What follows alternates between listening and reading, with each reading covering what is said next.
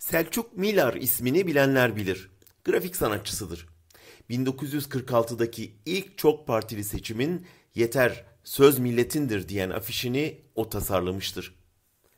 Demokrat Parti'nin bu afişinde bir sağ elin içi görünüyor ve yanına sadece o ünlü slogan yazılıyordu. Miller, Amerikan seçim kampanyalarından esinlenmiş, afişi demokratlara zor kabul ettirmişti.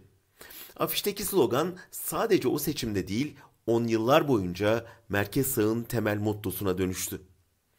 Etkisi o kadar büyüktü ki DP 1950 seçim kampanyasında da aynı afişi kullanmak isteyince hükümet seçim kanununda apar topar bir değişiklik yaparak duvar ilanlarında Türk bayrağı ve resim bulundurulmasını yasakladı.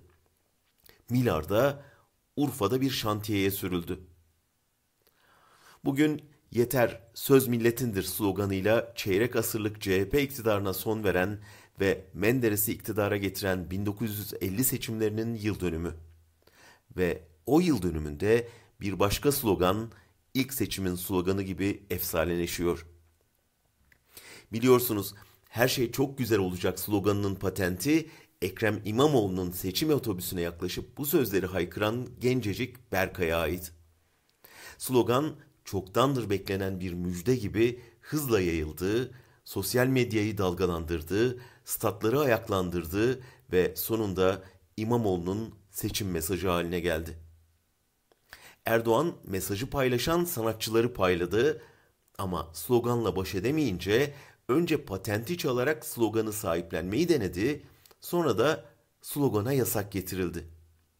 Dün Kadıköy'deki Soma eyleminde polis göstericilere bu sloganın valilikçe yasaklandığını söyledi.